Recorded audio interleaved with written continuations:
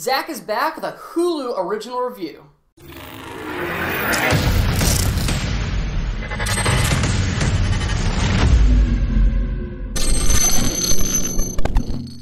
Today I'm reviewing Uncanny Annie. You obviously got that from the thumbnail. How do I explain Uncanny Annie in the easiest, simplest terms? Basically, it's Jumanji, except instead of a like weird, creepy forest world that is trying to kill you through the game, it's basically like a ghost and demonic world that's trying to kill you based on this card game. It's the same thing as Jumanji, basically cut for cut.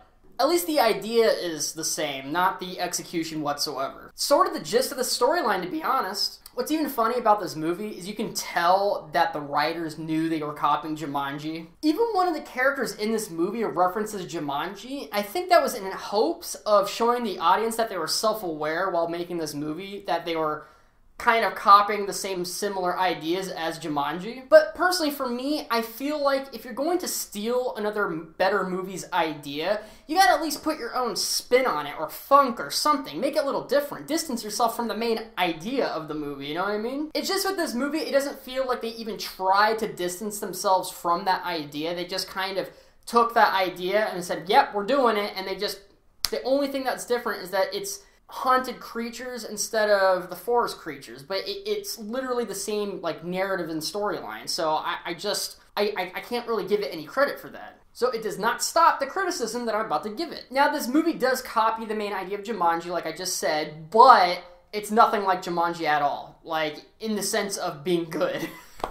To be honest with you, this movie, Uncanny Annie, kind of generally sums up the reasons why I don't like the Into the Dark series. Number one, the writing and dialogue in this movie is absolute trash, and I can't really like, you know, fluff it up for you or you know try to be rosy about it. This is it's just bad dialogue. It's just throwaway dialogue. You know, it's it's the type of dialogue where you can tell as somebody in the audience, you know, watching the movie that this dialogue is not is just there to waste time. There, there's no real big purpose for the dialogue, which is basically a cardinal sin when it comes to writing in the first place you know, they even tell you, like, if you're, you know, trying to be a writer, that, hey, when you're writing something, each sentence needs to have some sort of reasoning for being there. You can't just, like, just throw words on a screen just to waste time. Everyone knows what you're doing, and it ends up coming off really, really boring, which it does. I mean, that's generally what happens to the Into the Dark movies for me.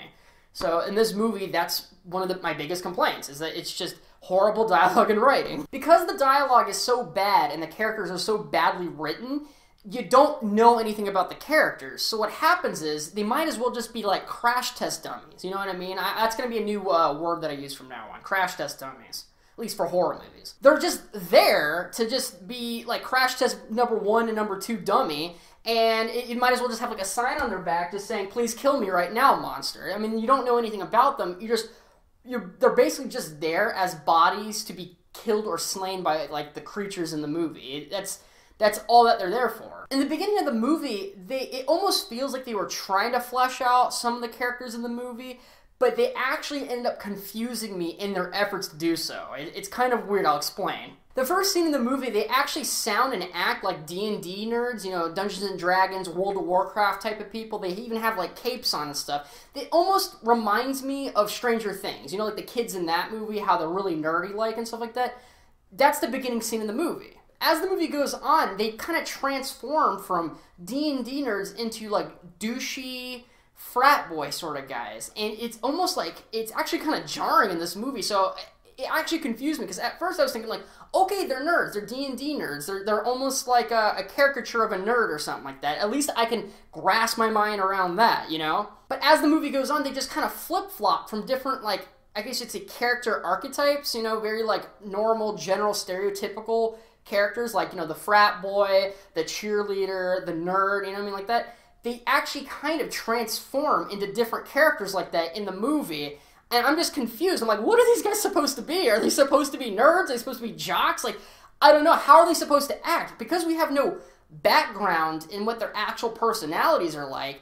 I can at least go off a stereotype, but they just don't even they don't even like grab that concept and make it like a thing. I'm just sitting there going, "What is going on in this movie?" I I, I, I can't explain it, you guys. Like I, oh my god, I just can't explain it. They, they ruin stereotypes in movies. That's how badly written this movie is. It's bad. Now, sometimes I'm actually okay with crash test dummies in movies. Like, I don't mind if, let's say, the monster's okay, the scares are good, the tension's there, you know, and let's say the deaths, the deaths of the people in the movie are, you know, interesting, I guess you could say. I'm okay with that. You can make a pretty entertaining slasher movie if you do those type of things. And I'm okay with some people with underdeveloped, you know, nonsense, you know, as long as you give me something else of interest, if that's if that makes any sense. But you can tell in this movie that they weren't going for a slasher film. You could tell that they were going for something more emotionally deep, or at least a little deeper than a slasher film. You know, they, they try to do certain things with the characters, you know, about certain lies they've had in their past and things they were keeping secrets from their other friend, but it never really interested me at all in this movie. And, and I'm okay with some, you know, a little bit of uh, romantic intrigue in a movie, you know, maybe some, uh, you know, backstabbing or something like that. I, am okay with kind of like political stuff. I like Game of Thrones. That's all. That's what that show was all about, you know. But in this movie, they didn't have enough time to like really get into that and it just felt like they were trying to add like something to their characters at all. Like they were just throwing stuff on a screen hoping for something to stick. And it actually took away from like just a crazy slasher film if they were to have fun with it. You know, if they just would have had fun with it, they made it so darn serious that it, it was hard not to take it seriously, if that makes any sense. And then when you were taking it seriously, nothing of importance would ever happen in these serious moments. So it was kind of like and you just didn't care about the characters, it was bad.